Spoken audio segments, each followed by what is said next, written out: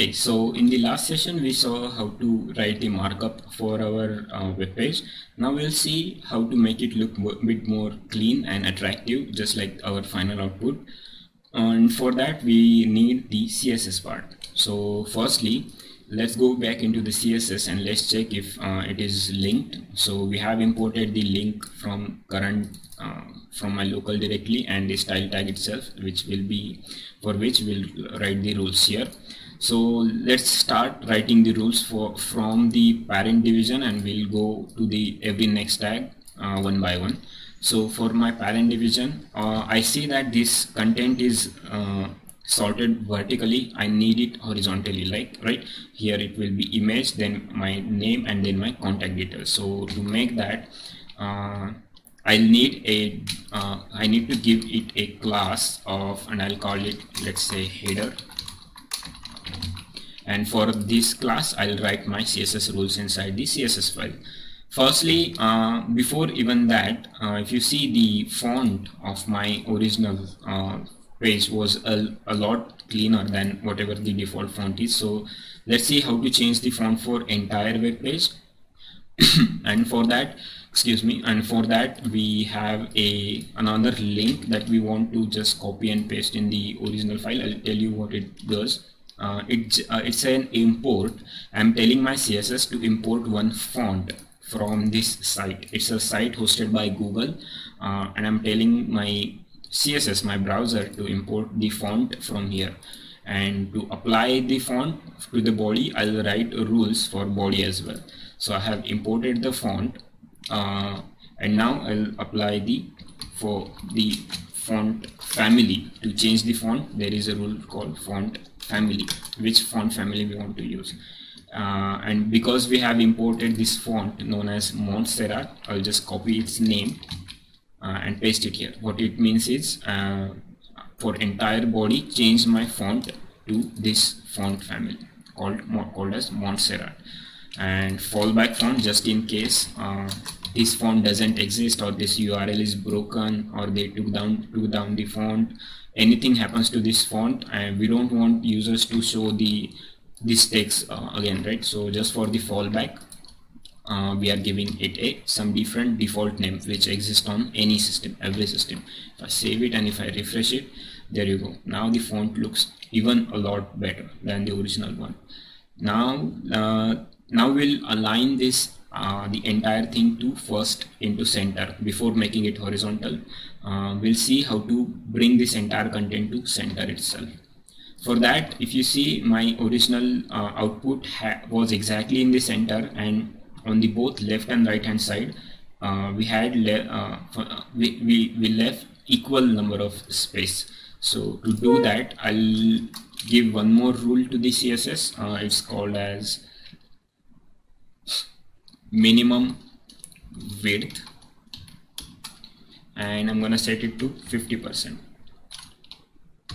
okay what that uh, what what that's gonna do is it will give the 50% uh, it will restrict the body's high uh, body's width to 50% at least minimum.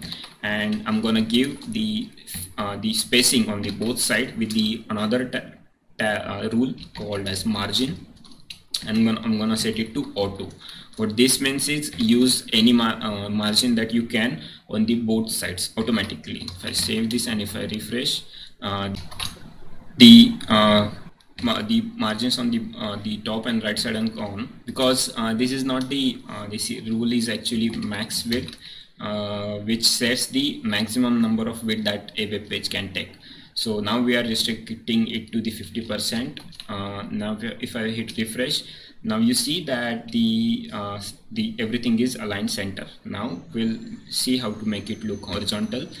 Uh, for that I need to uh, now we don't need these nodes. Now we have written the rule for uh, the entire division which is header so I'm just gonna write rules for this just class. Now remember it's not a tag like body so I'll start it with a dot and I'll write the rules inside this section here. So firstly we need to tell that we need to make it look horizontal and for that the property is display equal to flex. It stands actually for fl uh, flex box model but for now you can uh, understand it just to keep it in memory you can understand it as uh, flexible display because um, that's not the right way but uh, you just to keep it uh, in your mind uh, the display flex will by default arrange all the items horizontally and it also helps us creating responsive UI so that your web page on your desktop and uh, and on your mobile will look will look same. It will not get the overlap when you go on to the smaller screen. And that's why we use flexbox. And now this is this text is uh, aligned to the top part of the uh, this entire header box. So we will need this to come to the center so that everything will uh, come here on this uh, on the horizontal center line. And for that just like the name suggests we need to align all the items inside this header inside this division to its center okay? Align and items center. If I save this and if I refresh there you go. All the items are on center uh, center line uh, here somewhere in, of the entire box of height of the entire box okay?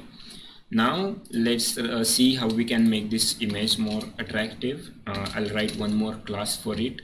Uh, and I'm gonna call it let's say um, you can call it face or anything you want. Uh, just make sure to keep it relevant and to write the classes for it. Uh, just uh, I'll follow the similar syntax because it's a class. It's not a it's not a element like body. I'll write a dot before it and start writing the rules for it.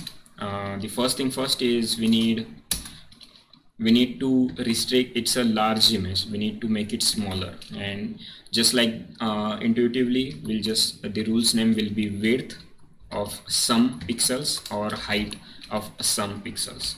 We i'm giving it 150 uh, for the both width and height. It will change the pix uh, the images width and height to uh, 150 150 now because the original image was not exactly square, uh, making it exactly 150 by 150 uh, stretched it a, a, little bit. So what we are going to do is we are going to give one more rule called object fit which defines how the image will fit inside this 150 by 150 and I'm going to call it cover which means the you need to cover the image inside this um, inside this box of uh, 150 by 150 you don't need to stretch it. So if I save this and if I refresh there you go. Now image looks a lot better. Now let's see how to create this uh, image into circular. It's really easy. All you need to do is give it a border radius of some value. What we want to do is uh, on all corner border radius applies to all corners here here here and here. So if I just give for a demonstration if I just give 20 pixels you see it became rounded on all four sides and all four sides are 20 pixels now. But we don't want to hard code any value here just in case if tomorrow this value changes to 300 pixel uh, we'll have to change the border radius again accordingly. So i'm just going to call it 50 percent. Uh, what this means is make the border uh, 50 percent of its height and width on all four sides no matter what the width and height is. That way the circular image stays circular in any resolution. If i save and refresh now it looks just like our original image right now and that's it uh, that's all you need for uh, okay now this image just uh, one more thing this image is not exactly uh, it shouldn't touch the top part right? So we'll just add one simple property to pull it a uh, little bit below to add margin from the top bar to uh, to the text itself. And I can give it a 20 pixel of margin which will which will pull this image a little bit down. I save this. There you go. That's uh, that's everything that we need to do this with this image. It looks exactly like our original image now. We don't need to change anything here. Mm, now let's move on to the this name and the qualification part. Uh, so for that I'll target this entire division again with the class of let's say title uh, and again we'll see what to do with this. For the title part you see the uh, title is in the original part title takes a lot more space than uh, this image and this contact as well. Contact and both takes the only remaining part. Uh, so for this we need to give some space to it. And for that I'm gonna give uh, it a flex property again for one. What this means is take uh, the one portion of all the space that is available. And in inside your box the box can be of this width uh, this long. And I'm telling to use inside your flexbox one portion and whatever is the remaining you leave that uh, for your uh, remaining siblings like image and table here. So this will be a this will take a large portion and whatever is the remaining from for this content will be left for these two tables. So if I save this and if I refresh now it is pulled on the right hand side and this text is uh, now uh, now taking a lot more space. This is helpful uh, to create the responsive web pages. If you see if I change the width of my web page uh, the text re realigns itself automatically. I don't need to write special code to show it in my mobile browser anymore. This is uh, already done with just one one property okay? Uh, now you now there we need to add a little bit space between the image and uh, the title itself. For that I'm going to use margin. We need to add margin from this towards the left right? So it will be margin left of let's say 20 pixels again. There you go now it looks a lot cleaner. Uh, now let's uh, target this title only. Uh, let's change the color of these both two words and I'm gonna call this now this part is done. Now let's go inside the h1 and I'm gonna give it a class of name. And I'm gonna give it a class of or anything else that you want just make sure to keep it relevant. Let's write rules for it. For name uh, I only want to change its color to something like gray. If I save this there you go. Entire name change but what I'll do is just like the original text I'll just change the uh, color of the last name to match the theme so and you can do that with I'll make one more rule here called colors name called co coral. It's a tongue twister but that's fine. Uh, our class name here is coral which changes the color of the text to a this time I have not written color um, you know it's an it's not an hexadecimal value but uh, if I just write coral here browser will understand which color it is and it will automatically pick that color. Uh, and I can give reuse this part anywhere I want. So I'm gonna just encapsulate this within a one more uh, section just like we use with division but it's uh, the span is for smaller uh, elements. And I'm gonna give it a class of coral so what what this will do is it will apply this color property to this coral part okay? I refresh it there you go. Now it looks a lot better and to change this uh, this text looks a little bit cluttered. We need to make it uh, something similar to the, uh, the title itself. So for this class for web developer and designer class I, I'll write some more rules like let's add little bit space between every letter uh, with the rule called letter spacing and I'm gonna give it one more pixel to if I save and refresh. Now it looks a lot more cleaner and uh, the text is almost aligned. Both the texts are almost aligned. It looks a lot cleaner as well. Uh, that's that's all you need to do. If you want of course you can change the font size you can change the color as well.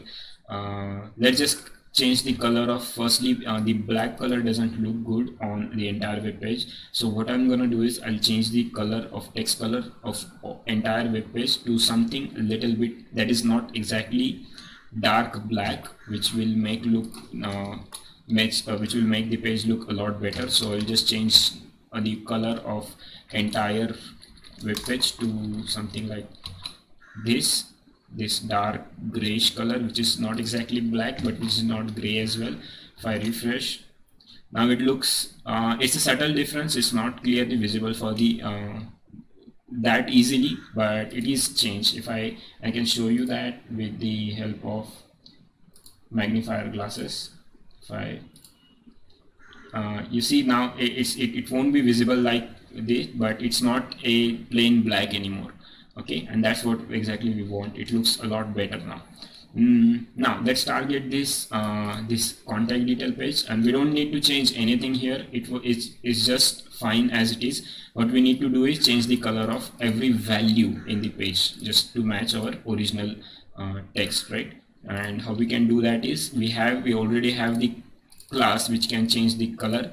So I'm just gonna copy that class equal to coral and I'm gonna paste it to all the values which will change the color of all the values itself and not the uh, the left hand side. If I save and refresh there you go. And that's all you need to do uh, that's all you need to do to represent your header. Next in the next section we'll uh, see how to write your body of the portfolio.